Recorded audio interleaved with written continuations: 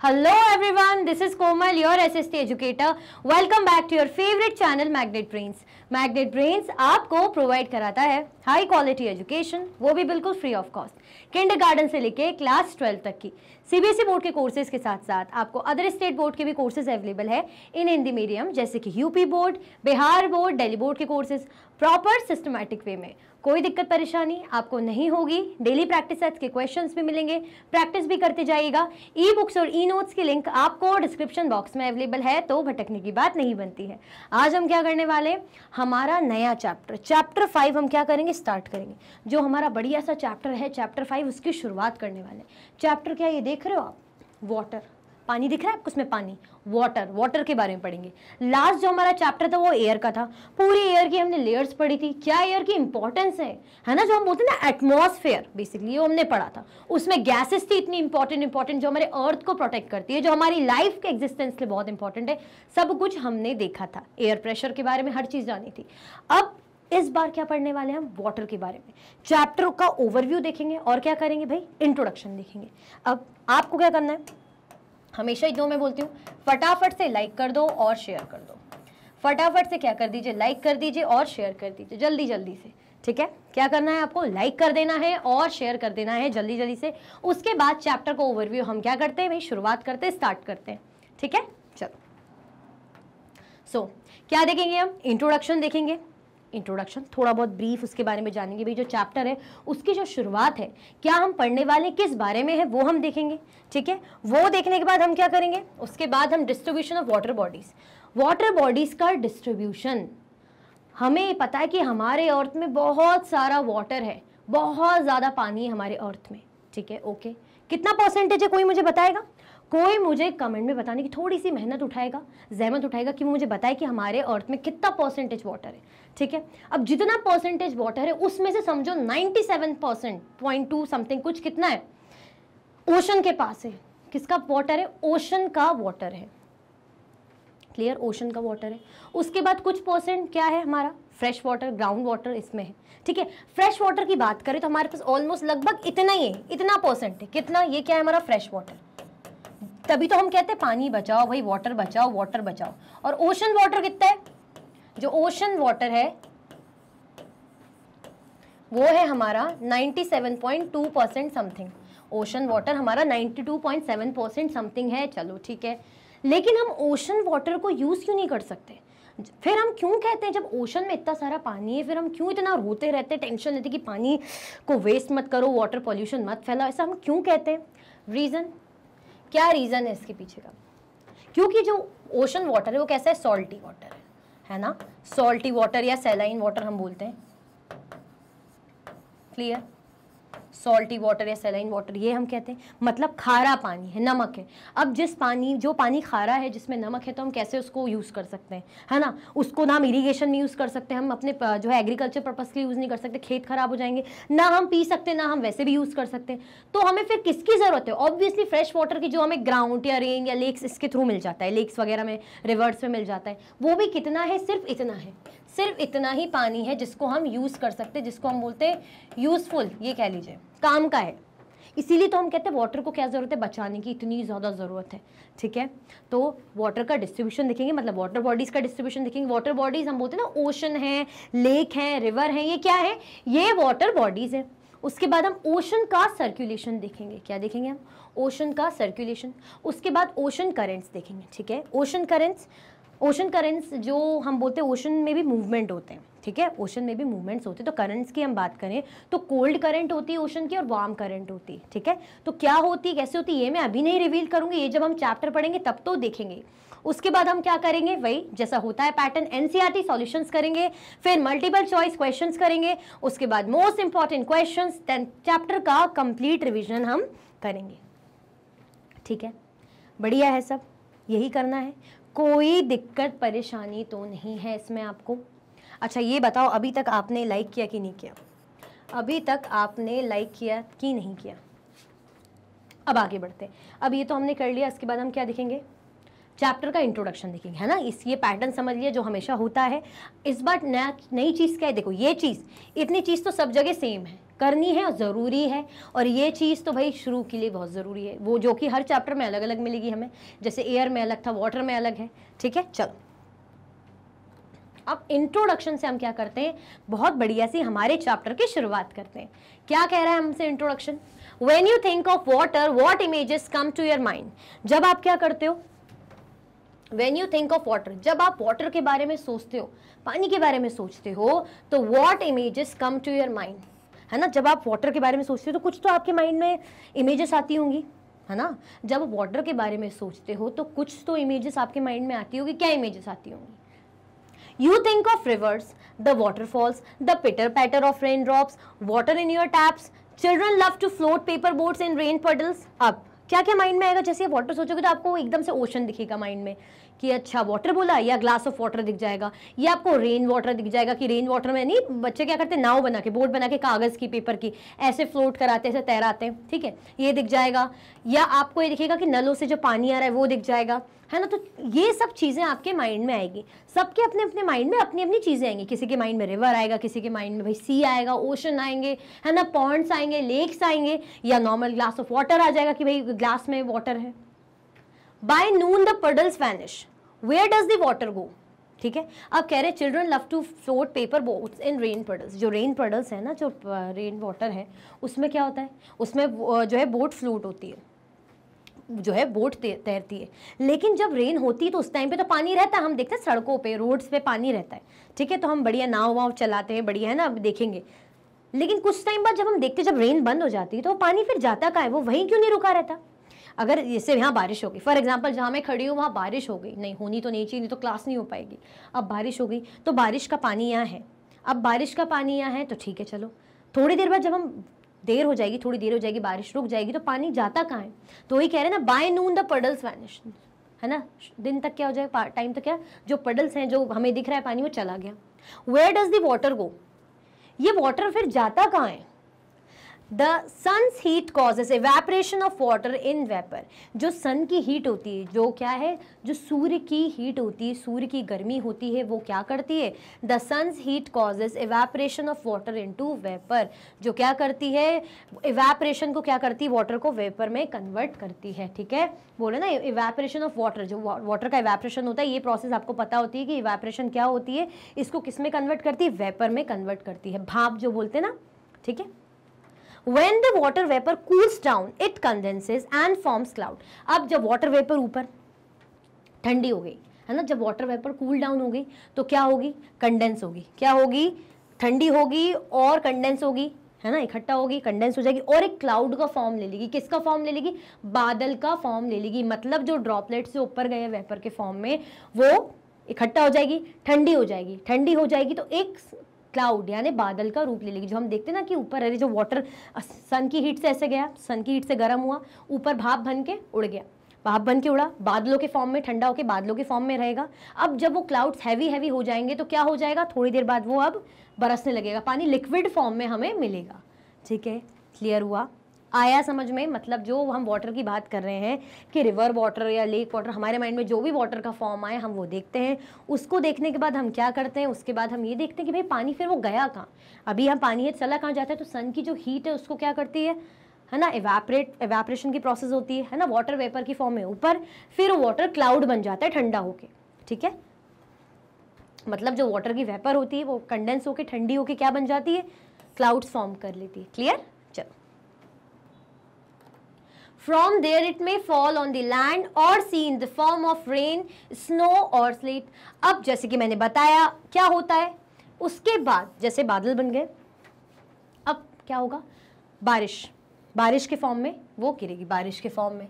ठीक है? मतलब लैंड और सी में वो बरसता है पानी। रेन होती है रेन के फॉर्म में। या तो हमें स्नोफॉल दिखेगा बर्फ़ वगैरह गिरती है या sleet clear the process by which water continually changes its form and circulates between ocean, atmosphere and land is known as the water cycle. क्या process? ऐसी process by which water continually changes its form. ऐसी process जब water क्या करता है अपना form change करता रहता है जब water क्या करता है अपना form change करता रहता है और circulate होता रहता है ocean से atmosphere से land में तो उसको क्या बोलते हैं water cycle ठीक है हमें ocean में मिलेगा फिर atmosphere में ऊपर फिर उसके बाद फिर नीचे लैंड में तो ये सर्कुलेशन चलता रहता है मतलब आया गिरा फिर ऊपर गया पानी रेन के फॉर्म में बरसा। बादलों से पानी बरसा है स्नोफॉल इस तरीके से। फिर वो जो पानी है, वो भाप बन के वेपर बन के ऊपर चला गया क्लाउड्स बन गए। फिर जब क्लाउड्स ठंडे हो गए हैवी हैवी हो गए, इसके बाद बारिश होने लगी। तो क्या हो रही? साइकिल हो रही है ना? क्या हो रही है? ये क्या है? ये वाटर साइकिल जरा देखें कैसी हो रही है। ये देखो, ये पहले ऐसे जा रहा है, ये ऊपर जा रहा है इवेपरेशन के फॉर्म में। ये क्या हो रहा है? इवेपरेशन हो रहा है, ठीक है? ये ऐसे जा रहा है। क्लाउड बन गया। क्लाउड बोल रहा है कि हम्म, मैं खुश हूँ। उसके बाद क्लाउड बोल रहा है कि अब मैं बहुत आ, मेरे जो अंदर जो ड्रॉपलेट्स हैं जो वाटर वेपर है बहुत ज़्यादा हैवी हो रही है। मैं इतना ज़्यादा वेट नहीं होल्ड कर पा रहा। मैं क्या करूँ क्या करूँ? तो बोल रहा है चलो अब मैं रो देता हूँ यानी मैं रेन बरस जाता हूँ। तो उसने क्या करा? भाई बरसात कर दी। ठंडा हुआ बरसात हुई तो इस प्रोसेस को क्या बोल रहे हैं? प्रेसिपिटेशन क्या बोल रहे हैं इस प्रोसेस को? इस प्रोसेस को बोल रहे हैं प्रेसिपिटेशन क्लियर हुआ, ये इवेपरेशन ये प्रेसिपिटेशन और ये कंडेंसेशन बहुत इंपॉर्टेंट है, ध्यान से देखो, फिर से बताती हूँ। ये पहली प्रोसेस है इवेपरेशन उसके बाद ये हो रही कंडेंसेशन फिर प्रेसिपिटेशन मतलब मतलब क्या बोल रहे हैं? इवेपरेशन प्रेसिपिटेशन और कंडेंसेशन फ़र्स्ट सेकंड थर्ड क्या हो रहा है? देखो, पानी. सूर्य ने क्या करा? सूरज ने क्या करा? सन ने क्या करा? भाप बना के अपने पास ऊपर मतलब ऊपर पानी जो है भाप से उड़ के ऐसे पानी, भाप बन के ऊपर जा रहा है। यानी एवेपरेशन की प्रोसेस हो रही है। वाटर वेपर ऊपर इकट्ठा होती जा रही है। क्या बन गई है वो? वो बादल का क्लाउड का रूप ले लिया है। ठीक है ओके क्लाउड ने बोला, अब मेरे को बना ही लिया है भाई, मैं क्लाउड बनी गया हूँ तो अब क्या कर सकता हूँ? बनने दो। अब वो ठंडा होगा। कंडेंसेशन की प्रोसेस होगी। ठंडा होगा। ठंडा होने के बाद क्या हो रहा है? वो बोल रहा है कि, अरे यार, मैं इतना ज़्यादा हैवी लोड संभाल नहीं पा रहा हूँ तो अब मैं बरस जाता हूँ। अब वो रेन के फॉर्म में ऐसे बरस रहा है। या रेन के फॉर्म में यहाँ आ रहा है, फिर नदियों में, तालाबों में चला जा रहा है ओशन सी में चला जा रहा है। तो ये प्रेसिपिटेशन की प्रोसेस है। मतलब ये इवेपरेशन की प्रोसेस हो रही है, यहाँ पे कंडेंसेशन हो रहा है, फिर उसके बाद प्रेसिपिटेशन मतलब पानी रेन के लिक्विड फॉर्म में यहाँ आ जा रहा है। गैस के फॉर्म में ऐसे गया, ठीक है, यहाँ गैस के फॉर्म में गया। यहाँ पे हम देख रहे हैं सॉलिड ऐसे कंडेंसेशन इस तरीके से क्लाउड बन गया, ठीक है, यहाँ से ऐसे बना ना, इस तरीके से, यहाँ पे गैस इस तरीके से फॉर्म में बन गया। उसके बाद लिक्विड फॉर्म में दोबारा से आ गया। लैंड से ही आके मतलब धरती से ही आया, रिवर से ही आया, रिवर से क्लाउड बना मतलब वाटर वेपर उसके बाद वापस रिवर पे आ गया। या रिवर सी ओशन लेक्स जो भी बोलना है तो ये क्या होगी? वाटर की साइकिल ऊपर गया, फिर आ गया, फिर ऊपर गया, फिर आ गया साइकिल हो रही क्लियर साइकिल ऐसी होती ना। ऐसे ही होती कि नहीं होती साइकिल चल। From there it may fall on land और sea in the form of rain snow और स्लीट ये तो हमने देखा। The process by which water continually changes its form and circulates between ocean, atmosphere and land is known as the water cycle. देखो ये बड़ा important है। क्या होता है? इसको अभी हमने पढ़ा था। क्या होती है वाटर साइकिल ऐसी process by which water continuously changes ऐसी प्रोसेस जिसके थ्रू वाटर कंटिन्यूसली चेंज होता है अपना फॉर्म चेंज करता है और सर्कुलेट होता है। किसके बीच में?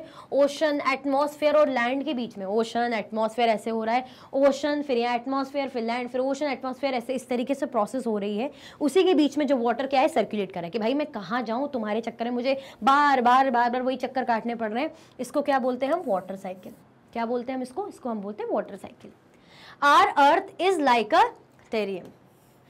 Our earth is like a terrarium. ये टेरेरियम क्या होता है? हमने एक्वेरियम सुना है ना, जिसमें फ़िश वगैरह हम रखते हैं। ग्लास हमारा ऐसे बक, ऐसा रहता है ग्लास का बॉक्स ऐसा, है ना? उसमें फ़िश वगैरह बड़ी प्यारी प्यारी सी, है ना? वो भी लगाया जाता है अलग अलग उसमें स्टोन्स डाले रहते हैं, बहुत प्यारी प्यारी सी फिशेज रहती है एक्वेरियम बोलते हैं, ठीक है? Our earth is like a terrarium but ये टेरेरियम है क्या? ज़रा देखें। It is an artificial enclosure for keeping small house plants ये एक आर्टिफिशियल इंक्लोजर है। जिसमें हम हाउस प्लांट प्लांट्स रखते हैं ना, घर के जो पौधे हैं, जो हम हाउस प्लांट्स रखते हैं स्मॉल हाउस जो घर में जो पौधे प्लांट्स होते हैं, उसको रखते हैं, ठीक है? आर्टिफिशियल आर्टिफिशियल तो उसको बोलते हैं टेरेरियम तो बोल रहे हैं, हमारा जो अर्थ है, वो टेरेरियम जैसा है। The same water that that existed centuries ago still exist today ये बहुत इंपॉर्टेंट है, इसको याद रखना क्या बात कह रहे हैं? कि ये बहुत इंपॉर्टेंट है कि जो वाटर हमें सदियों पहले जितना था जितना भी वाटर सदियों पहले था, आज भी उतना ही वाटर हमारे अर्थ में रहेगा और आगे भी उतना ही रहेगा। वाटर ना कभी इंक्रीज होता है, ना कभी डिक्रीज होता है। अगर आप बोलोगे कि वाटर भाई कम हो रहा है, पानी की कमी हो रही है तो इसका मतलब ये नहीं कि पानी बह के अर्थ से लीक हो रहा है। नहीं, पानी वही है, वो बात हो रही है, वो पॉल्यूट हो रहा है। मतलब जो साफ़ पानी उसको हम गंदा करें तो कम हो रहा है, लेकिन वो वही है। तभी कह रहे हैं ना कि जो वाटर है, वो जो सालों पहले एग्जिस्ट करता था, वो अभी भी हमें मिलेगा। जो वाटर सालों पहले एग्जिस्ट करता था, वो अभी भी हमें मिलेगा। वो इवन कुछ सालों बाद भी, काफ़ी सालों बाद भी हम देखेंगे तो भी उतना ही रहेगा। कोई चेंज नहीं होगा। ना कम होगा, ना ज़्यादा होगा। ऐसा ऐसा कह रहे हैं ना कि ना माइनस ना प्लस मतलब जितना हमें एग्जिस्टिंग वाटर मिला था सेंचुरीज अगो वो अभी भी एग्जिस्ट करता है। नो चेंज ना कम, ना ज़्यादा। क्लियर हुआ? आया समझ में? कोई कंफ्यूजन दिक्कत तो नहीं है। आगे बढ़े। The water used to irrigate a field in Haryana may have flowed down the Amazon River a hundred years ago. The major sources of fresh water are the rivers, ponds, springs and glaciers. अब जो बोल रहे हैं कि जैसे हम centuries अगो की बात कर रहे थे ना तो बोल रहे हैं जब वाटर यूज़ करते थे हम इरीगेशन को इरीगेशन के लिए फ़ील्ड में इरीगेट करने के लिए ठीक है जैसे हरियाणा में and many have float down the Amazon river a hundred years ago जो कहाँ भय होंगे भाई जो कहाँ रहा होगा? अमेजन रिवर अमेजन रिवर बोलते हैं रेन फॉरेस्ट वहाँ रिवर भी अमेजन रिवर ठीक है? तो वहाँ से ऐसी बहती होगी, इस तरीके से हमें हरियाणा में जो पानी मिलता है। मतलब बता रहे एग्ज़ाम्पल के तौर पे कि जो पानी, जो रिवर है, कभी भाई उस, वहाँ से जो पानी है, उसका वहाँ है तो वो हमें हरियाणा में भी मिलता होगा, जो हम यूज़ कर रहे हैं ना मतलब मिला होगा। ऐसा मतलब आप समझो कि बहते हुए आ रहा है तो वो वहाँ से यहाँ भी आया होगा।